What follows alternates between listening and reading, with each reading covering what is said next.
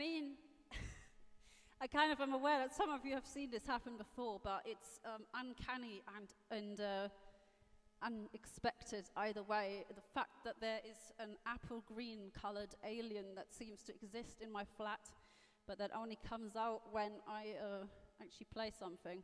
Uh, I can see all the green aliens on the chat. That is really funny. Stallion.